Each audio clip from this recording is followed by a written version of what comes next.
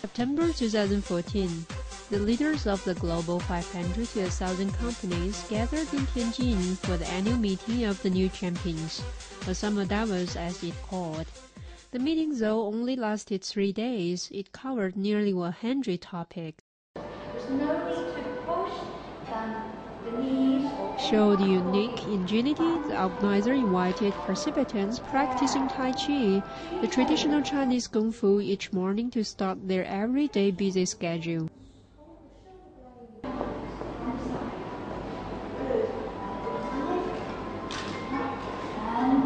Gently,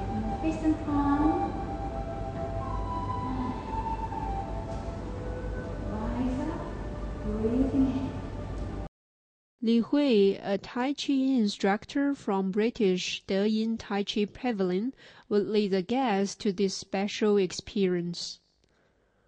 She had been teaching Tai Chi in Birmingham, UK for over 30 years. As a hero of Tai Chi, Li Hui is famous in UK and even Europe. Her students reached over 1,000. She is trying to spread Tai Chi culture to a broader and more influential platform.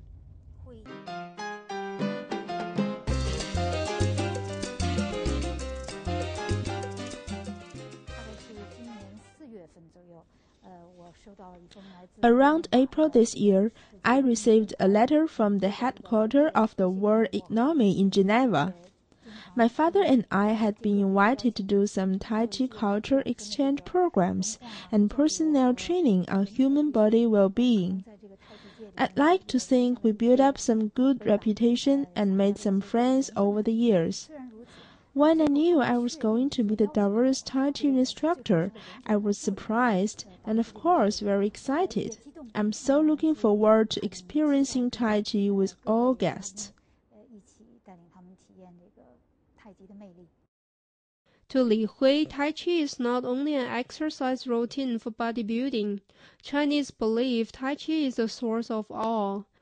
The Infinity Power transformed into heaven and earth, yin and yang, movement and tranquillity, firmness and softness.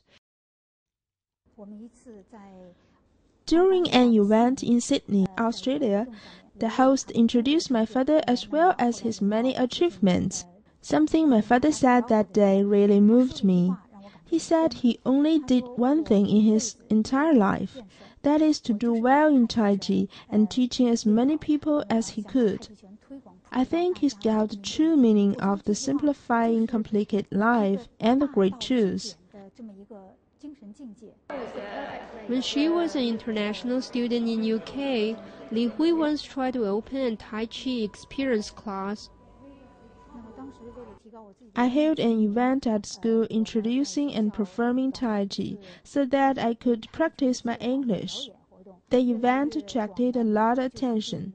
The fitness club nearby asked me to start a small class. The early success boosted Li Hui's confidence of spreading Tai Chi culture abroad.